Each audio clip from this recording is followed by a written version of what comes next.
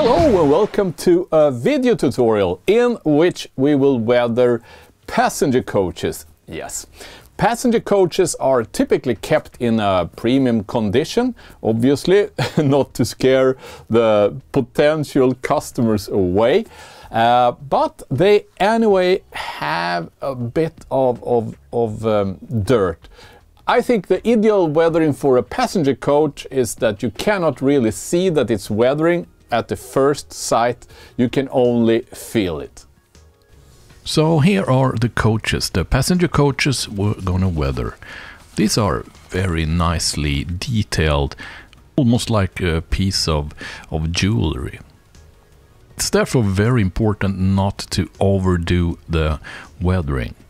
The weathering should enhance these cars even further, not the opposite. So what can be improved? Well, these ventilations here, they are probably picking up some dirt. The roof on this coach is uh, painted, but it's lacking a bit of detail. I want a streak at least on top of the roof. The bogies are in black shiny plastic, they need to be painted, as well as the wheel sides. Uh, we also need to put the same type of thin coat on this part of the car. Let's start by disassemble the wheels from the bogies, they need to be lubricated later. So I will use a burnt umber, this is Vallejo 941 and 950 black. The main part of this color mix will consist from the brown burnt umber and a tiny portion of that black, so I get a kind of blackish brown. I add some thinner. The thinner I have in my spray bottle is uh, 1 part isopropanol and 9 part water. This paint is applied to the wheel sides using a paintbrush. Whilst the wheels are drying, we will look at the roof. First action in when it comes to all uh, spraying using airbrush is to clean the surface which we will spray. This is due to, you know, it's enough with a fingerprint on that roof and that will shine through in the top coat. Next thing is to mask the sides of this uh, coach. I don't want this, uh, we're gonna put uh, matte varnish on the roof first and I don't want that on the sides. So I'm mixing uh, thinner, airbrush thinner with matte varnish directly into the cup of the airbrush and mix it properly. Yeah, like this. Now I'm spraying the entire roof. So I have a new layer of matte varnish on top instead of that paint. This roof was actually painted, which is, uh, hmm, I wouldn't say unusual, but uh, it's more common that it's just plastic. This coat will anyway make the roof look more matte. I think it's a bit too shiny the way it was originally.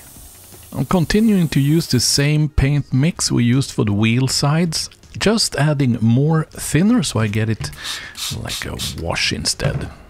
With a soft paintbrush, I'm just stippling on a drop of that paint and it will float over the entire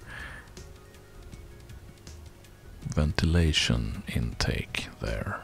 There were also blue uh, cars in the same type. And uh, I will uh, remove the bogie on these as well as the red ones. I always remove the bogies because it's much easier to spray them. I would spray these using the same uh, color mix as the wheel sides, meaning a brown with a tiny amount of black.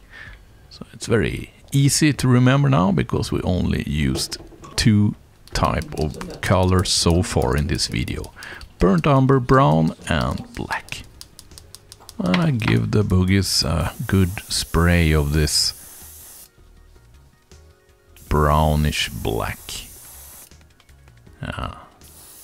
If the bogies has some parts for electrical pickup, remove those ahead of spraying them.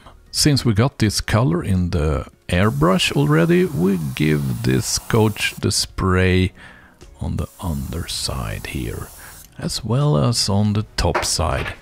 using the same color also for the roof.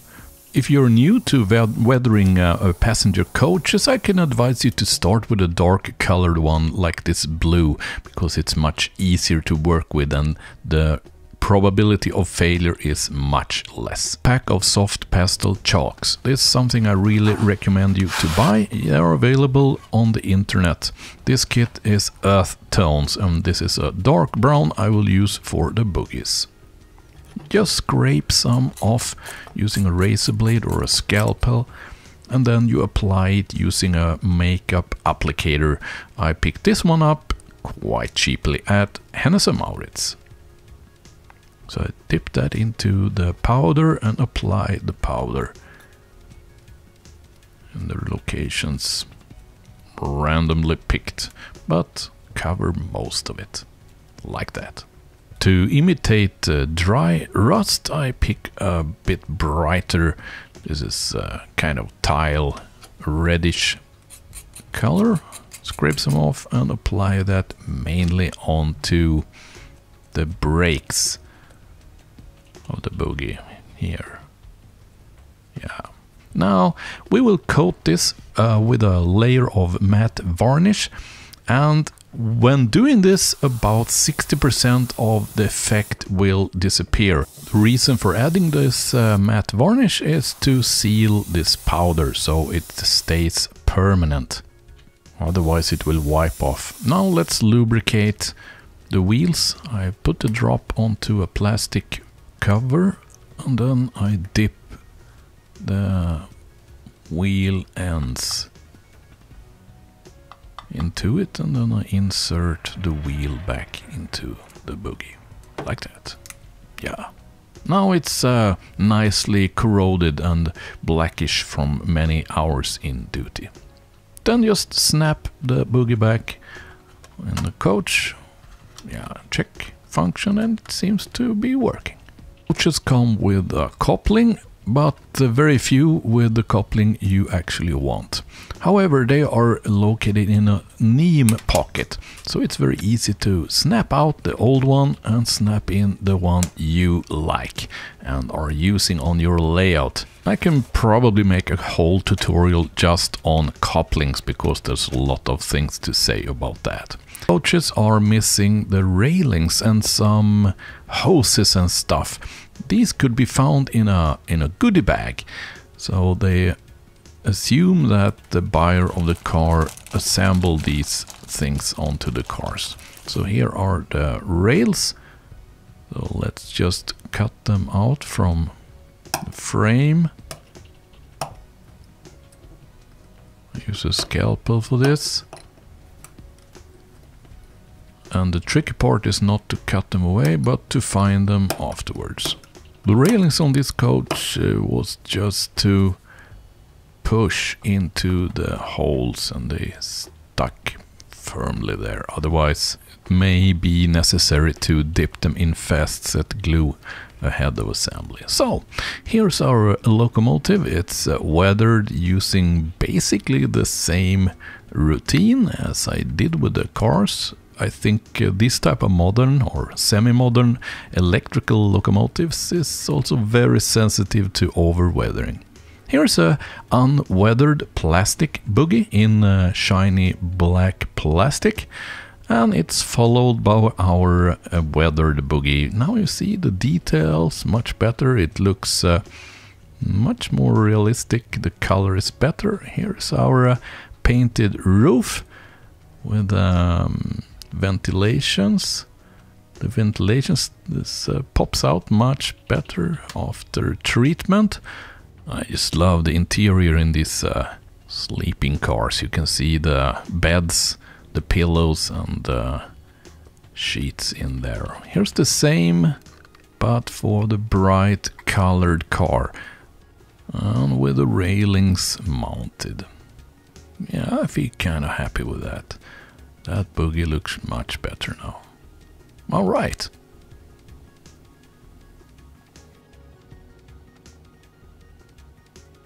I hope you liked this video tutorial on how you can weather your passenger coaches to, to get a bit more realism into them as well.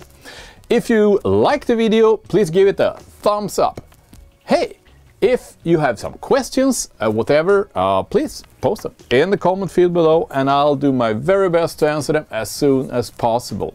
If this video helps you with your hobby, please remember that all of this is made possible because a few of you viewers are supporting the channel. So if you want to be one of the good guys, get onto Patreon and set up a support account there. Or make a one-off donation in the PayPal dialog found in the video description below. Don't forget to subscribe to the channel and enable the little bell and you will get a notification once next video is published. Until that happens, see ya!